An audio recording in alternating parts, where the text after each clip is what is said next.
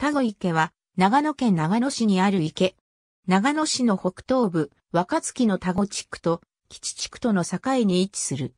東西方向に240メートル、南北方向に220メートルの丸みを帯びた池で、面積は約5ヘクタールである。地名の田子は、もともと田子あるいは田子と書き、かつては7から8カ所の湖があったと言われている。人々はそれらを干拓して、村落を作っていった。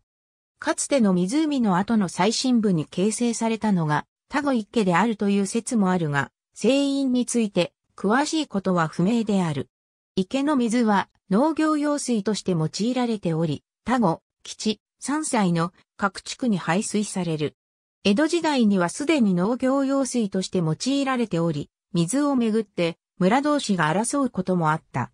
明治時代には、田子、基地の二家村が池の所有権をめぐって争った結果、3ヘクタールが田子地区、残り2ヘクタールが基地地区に所属することとなった。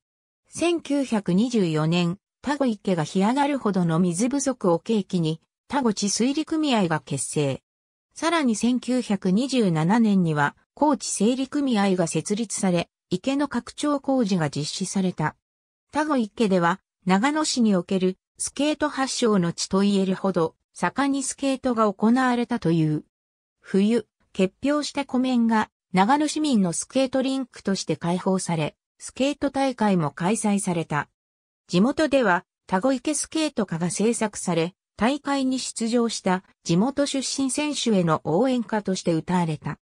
1952年から1953年にはオリンピック出場経験もあるフィギュアスケート選手の稲田悦子が当地を訪れて演技を披露したこともある。